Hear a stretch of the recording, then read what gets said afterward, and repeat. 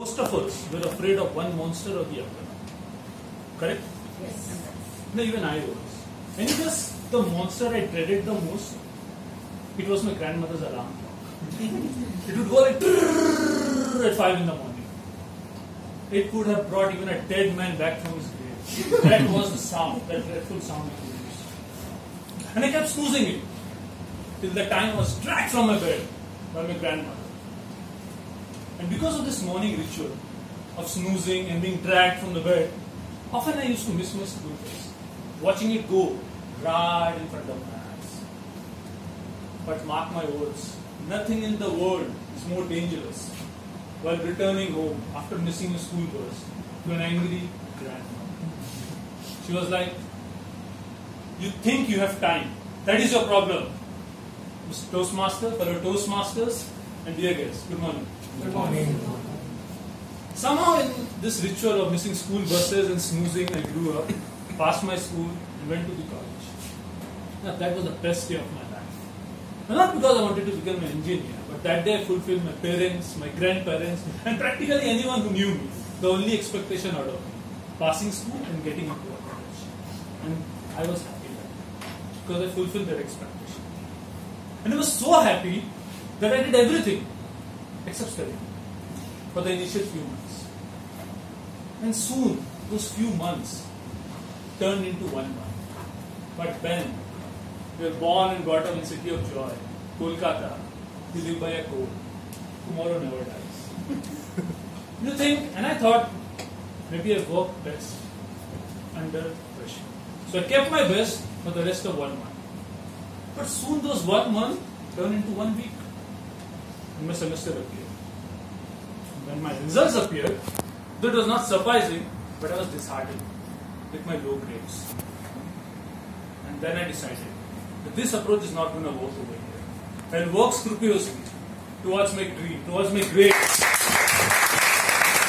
and make sure to pass with flying colors the next time. Sadly, that also didn't happen. All my four years went by like that. Everything changed, nothing changed except my grade, which kept getting down and down.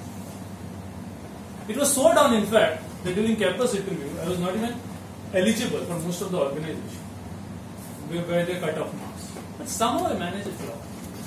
Moved to a different city, and there I decided that this time onwards, I'll be more focused on my work, and I will get the best employee each year. But then, Asha, and my asha of from becoming the employee of the month, that is my hope, went for a toss. Her cubicle was right across me, and she was a doe-eyed beauty, and I was in love again. But I never had the courage of going up to her to speak to her. And my friends, I don't know whether they encouraged me or discouraged me, because they kept telling me, Didi ke bolo, talk to the sister. I never had that courage.